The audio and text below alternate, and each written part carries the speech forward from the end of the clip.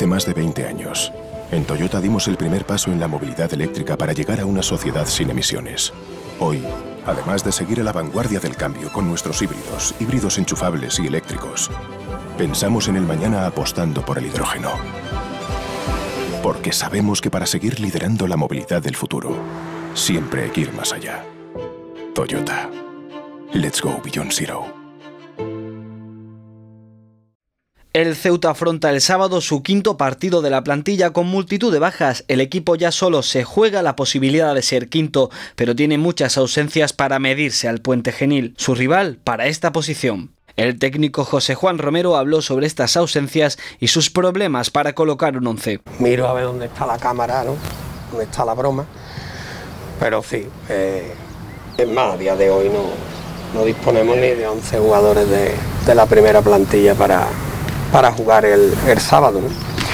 Pero bueno, estaremos 11 y seguro que, que daremos mucha guerra. El entrenador sevillano está buscando las alternativas para formar el mejor equipo ante el puente genil. Estamos probando alternativas, pero habrá que esperar a mañana a ver, a ver porque Ismael César no, evidentemente no está para jugar, aunque pueda ir en la convocatoria, en el banquillo y bueno, y tenemos también el problema de Aizar, que del corte del otro día aún no puede doblar la pierna y la tiene inflamada, entonces no ha podido, ha empezado a ejercitarse, pero tampoco ha podido. Y bueno, lo que digo, a día de hoy no, tenemos 11 jugadores del primer plantel disponibles, pero bueno, eh, dentro de lo que esté mejor, de entre lo peor, pues tendremos que completar el 11 y, competir con, sobre todo este sábado, con mucha, mucho corazón y mucha fe. En cuanto al encuentro, el técnico tiene claro que tiene ante sí la posibilidad de consolidar el quinto puesto y ya pensar en las eliminatorias. Bueno, para el quinto sexto puesto, ¿no? Eh, eh, al final eh, prácticamente estamos en el punto cero de, de cuando comenzó esto, ¿no? Es verdad que nosotros llevamos una ligera ventaja, que tenemos lo que es en este playoff cuatro puntos y, dos partidos menos, en teoría, cuando termine esto en los coeficientes, entonces eso nos da ahora mismo una ventaja, empatamos allí, con lo cual a nivel de, garantizar el quinto puesto, pues, pues es un partido trascendental ¿no? Eh, para, lo que es el quinto puesto.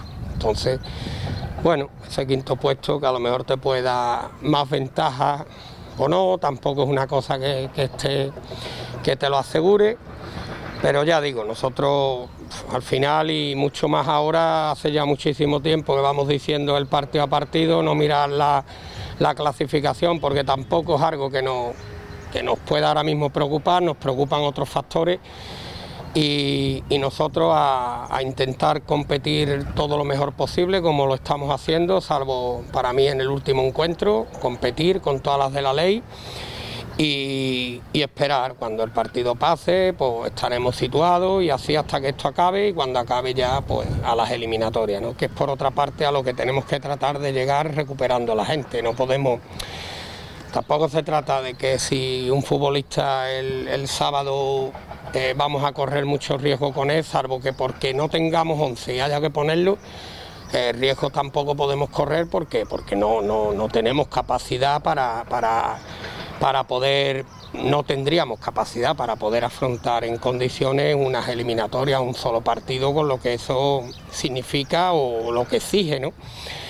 Entonces, bueno, ahora mismo eh, la cabeza da, da tantísimas vueltas y, el Ceuta no quiere arriesgar con los jugadores, sobre todo por la cantidad de bajas que tiene. Por eso José Juan Romero considera que hay que pensar bien en formar el once.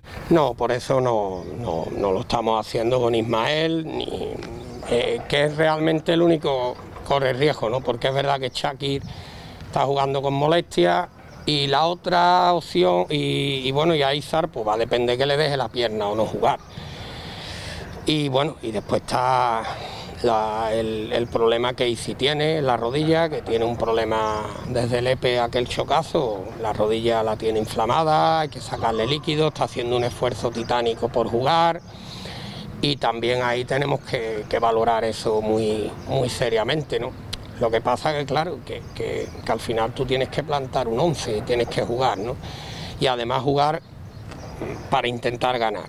Eso no se negocia. Con lo cual, bueno, ahí está, vamos a intentar medir todo un poco, la opinión también de, fisio y un poco con, en relación a todo ello, jugaremos. Yo digo que yo no he vivido esta, esta otra situación nueva que se me presenta aquí porque no, no, no la he tenido no la he tenido nunca y evidentemente ahora mismo estamos en una situación caótica para, para poder competir. Pero como sé de qué nota hablo, pues sé que son capaces de sorprendernos el sábado, pero, pero con, con muchísima confianza de que lo harán. El conjunto Caballa jugará su penúltimo encuentro de la liguilla de ascenso pensando ya en los playoffs, donde sí jugará su objetivo. El Ceuta está fuerte a pesar de las bajas y quiere ganar el sábado al Puente Genil.